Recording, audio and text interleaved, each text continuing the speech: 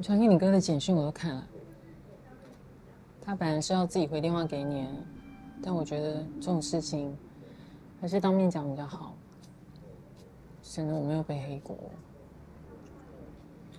哎呦，干嘛这样讲啊？好严重的样子。因为我真的觉得很受伤。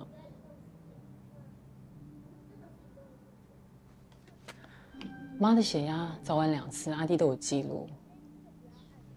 我跟你哥是完全照着医生的指示在照顾妈，盯着她吃药，盯着她吃饭。只要没有下雨，阿弟一定带妈去公园散步。妈的血压从来没有超过什么一百七。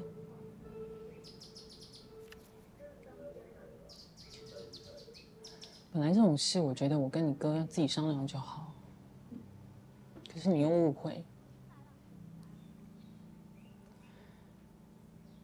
其实不正常的是妈的记忆。什么意思？上个礼拜，他看着你哥叫你爸的名字。在上上个礼拜，他说阿弟偷他的镯子。那个镯子啊，他不是早就送给你了吗？反正我就觉得不对劲，礼拜一我就逼你哥带妈去看医生。医生说，早期的失智症，这要多看几间医院吧，不是一个医生说了算啊。我会，你如果不放心，你也可以自己带妈去看医生。我要说的是，如果真的是失智症呢？我跟你哥讨论过了，我们觉得最好的办法是把妈送到。专业的疗养中心，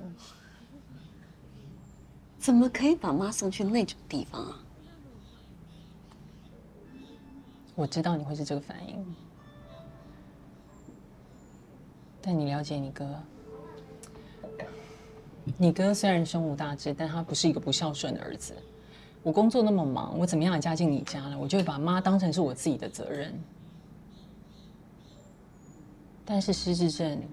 不是尽孝道就可以，他是需要有人二十四小时盯着他照顾他。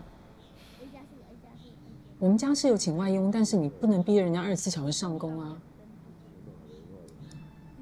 这种情况，万一出什么差错，我承担不起。最好办法还是把妈送到专业的照护中心，这个钱我可以出。我不同意。还是我把妈交给你。